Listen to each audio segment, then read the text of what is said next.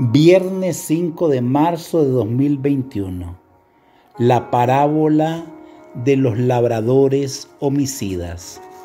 Del Evangelio según San Mateo, en el capítulo 21, versículos 33 al 43 y versículos 45 y 46.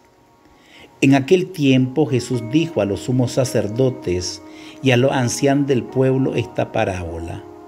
Había una vez un propietario que plantó un viñedo, lo rodeó con una cerca, cavó un lagar en él, construyó una torre para el vigilante y luego la alquiló a unos viñadores y se fue de viaje.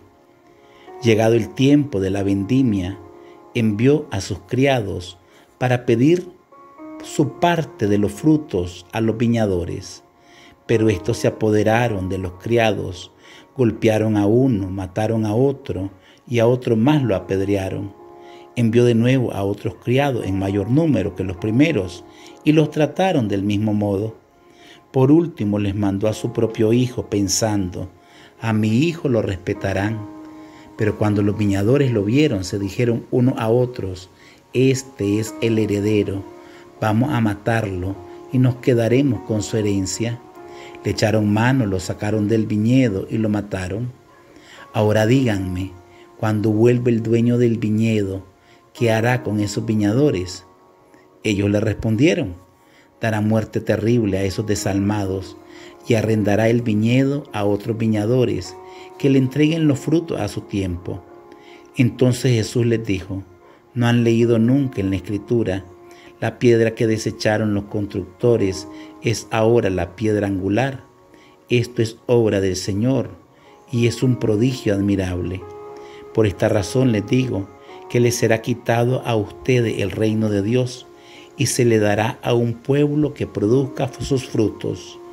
Al oír estas palabras, los sumos sacerdotes y los fariseos comprendieron que Jesús las decía por ellos y quisieron aprenderlo pero tuvieron miedo a la multitud, pues era tenido por un profeta. Palabra del Señor, gloria a ti, Señor Jesús.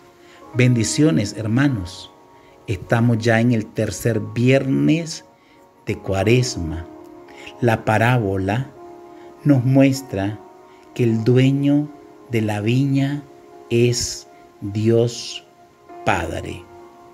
Que la viña es la figura del pueblo escogido, que los labradores a quienes se le alquila la viña son a los religiosos del tiempo de Jesús, a los guardianes de la ley, a los sumos sacerdotes, a los fariseos y a los escribas, y a los siervos que manda el Señor a pedir en el tiempo de la cosecha que manden de los frutos son los profetas, los malos labradores, así como apedrearon y mataron a los profetas antes que a Jesús, también están haciendo lo mismo con el Hijo único, con el heredero, que es Jesucristo.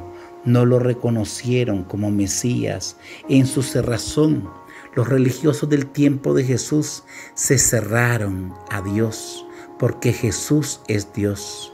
El rechazo a Jesús, el rechazo a su palabra, a tal punto que lo aprendieron, lo apresaron, le dieron condena y lo mandaron a una muerte en cruz.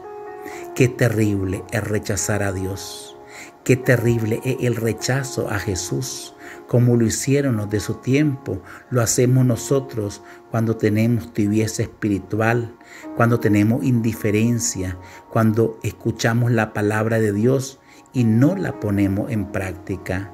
Hoy le debemos de decir al Señor, Señor Jesús, te suplicamos por intercesión de María Santísima, de los ruegos de San José, que seas tú nuestra piedra angular que te reconozcamos con nuestras buenas acciones, escuchando tu palabra y poniéndola en práctica, que tú eres el Rey, el Señor, el Salvador de nuestra vida. Amén.